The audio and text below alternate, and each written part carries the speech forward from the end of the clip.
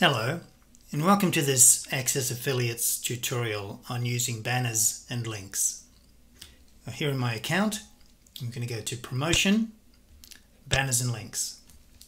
So this is where you will find all of the links and image banners that we have available at any time. And you can imagine that if we have three or four or five hundred um, possible images and banners in this system, it's going to be a long, long list. so you're going to need some ways to filter that to get to the banners or the link that you would like. And this is what this section is about. This is like a big filtering search tool. So let's just go through these quickly and I'll show you a couple of things that might be most useful. You can filter by campaigns. Now, Access Affiliates has two main campaigns, Creative Edge of Consciousness, um, which holds about four or five products and the standard campaign which has all of the others. So it may be useful, just good to know that it's there. We'll talk about channels in another tutorial. You can filter by target URL. So if you actually know the destination URL of the product, you can filter by that. You can filter by banner types.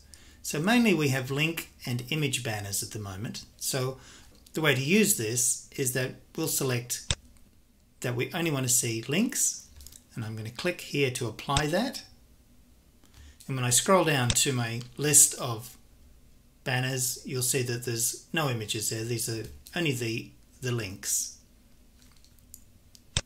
And if we do that the other way around and select image banners and apply then we're presented with banners that have images. So that's cool You can also filter by banner size.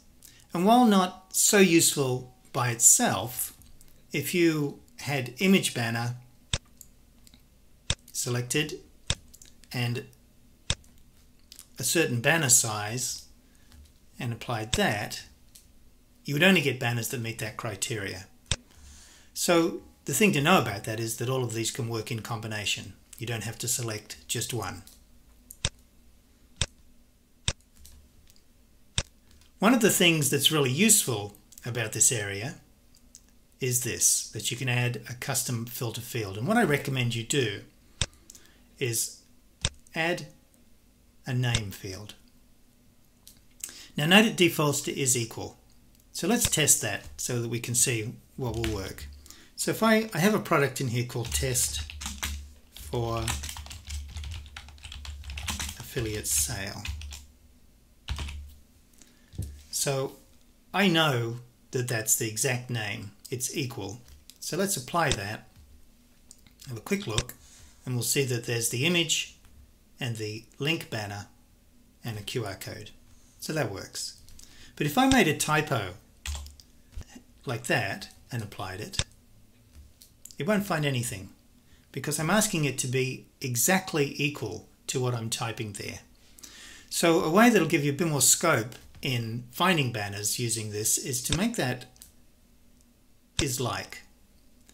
So that is a way of filtering so a word could be included in a title.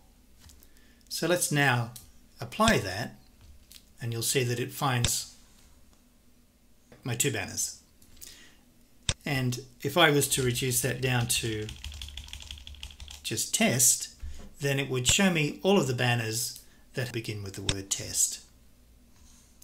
So this is useful and I would recommend that you work quite a lot with this because it's likely that you'll know the name of the product that you're working with.